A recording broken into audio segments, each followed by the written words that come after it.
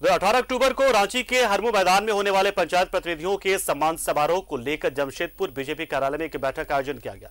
इस बैठक में बीजेपी, झारखंड प्रदेश मंत्री सह जिला प्रभारी सुबोध सिंह गुड्डू बैठक में शामिल हुए। बता दें कि पंचायत चुनाव में पूरे राज्य से 9000 प्रतिनिधि चुने गए इनमें से साढ़े चार हज़ार पार्टी के प्रतिनिधियों का सम्मान किया जाएगा। इसके बाद जिला परिषद अध्यक्ष और मुखिया को क्षेत्र के विकास को लेकर टास्क दिया जाएगा।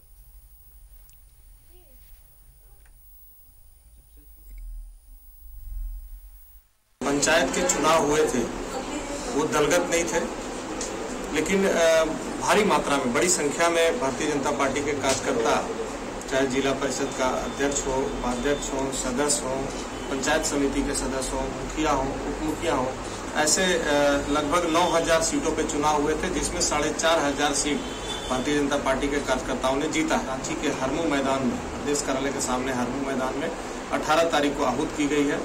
जिसमें प्रदेश अध्यक्ष जी संगठन मंत्री जी क्षेत्रीय संगठन मंत्री जी और प्रदेश के सभी बड़े नेता उसमें उपस्थित रहे।